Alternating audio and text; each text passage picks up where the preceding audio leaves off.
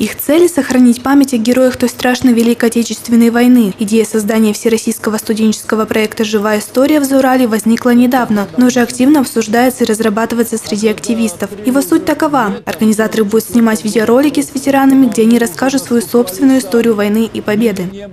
Мы поставили перед собой цель максимально сохранить воспоминания ветеранов Великой Отечественной войны и создать всесоюзный архив их памяти.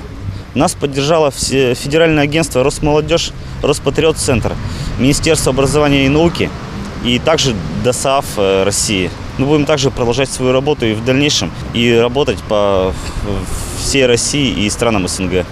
Первую акцию в поддержку проекта провели на базе Курганского государственного университета. Живую историю презентовали студентам, а также преподавателям вуза. Как рассказал Сергей Достовалов, проректор по воспитательной работе КГУ, ребятам будет оказана как организационная, так и моральная поддержка.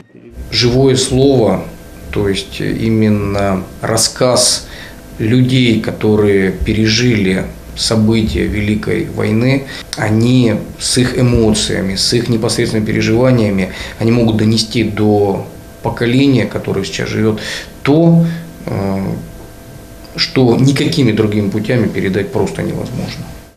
В настоящее время проект активно набирает свои обороты. Сейчас организаторы стараются подключить к нему как можно больше инициативных людей, тех, кому не безразлична судьба своих предков. Собранные видеоролики будут переданы в архивы Кургана, Москвы и Екатеринбурга. В дальнейшем планируется создать большой всесоюзный архив памяти России и стран СНГ.